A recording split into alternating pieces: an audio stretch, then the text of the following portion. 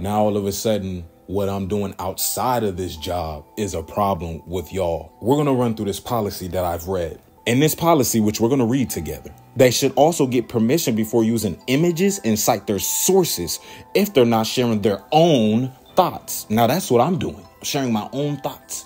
My sources are coming from the source because I know, and I have audio footage of both of you guys pulling me to the side saying you're gonna suspend me or whatever. And this is probably what's gonna happen today, right? Cool. No pictures or images. I didn't use any pictures. See, my my supporters got clickbaited. They all think I work at Amazon, which you guys both know this is not Amazon. Okay. We are on a zero tolerance approach with this at this point. So, with that being said, you will be suspended for the balance of this shift in two days. Time. Time. The clock is ticking. It's something that we all got in common. Borrowed time. Every day is starting to feel the same. I'm in a routine. I wake up, brush my teeth, get my mind together to start the day off while still having faith that everything is going to work out. Every day feels the same. I wake up, go to work, do what's expected of me, and come home exhausted. But the question that really haunts me is this it? Is this all there is to life? Am I meant to just survive? Or is there something more?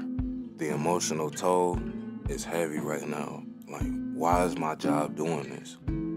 Did I do something wrong? It's not even about the money or the time spent. It's about losing yourself in the process of all of this. It's about the dreams I've had to put on hold, the passions I've ignored because I'm too tired to pursue them. Working three jobs is hard, I cannot lie. You have to have a strong mentality to do it. But then I realized very quickly that this is exactly what the devil wants. This is exactly what they want. He wants me to feel stuck, hopeless, and afraid. He wants me to believe that this is all there is. There's nothing else I can do. But deep down, I know there's more. There's a fire inside of me that won't be extinguished. The drive, the hunger for everything that you want is there. Can't nobody take it. As much as you're going through right now.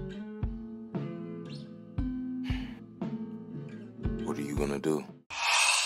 Everything I'm doing, you can literally do. I preach it every day. But yet, because I got something, now it's a problem.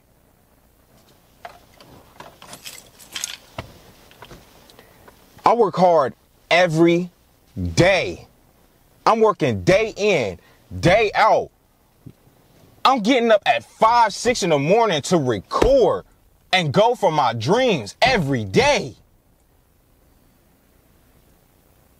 Just for somebody to just be hating and want to try to take it from me.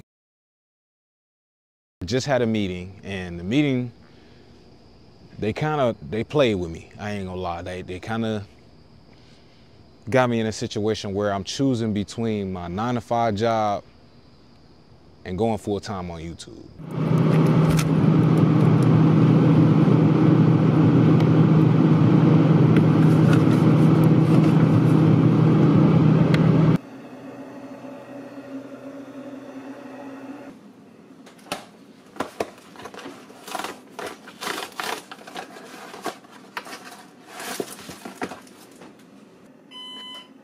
Every morning feels the same.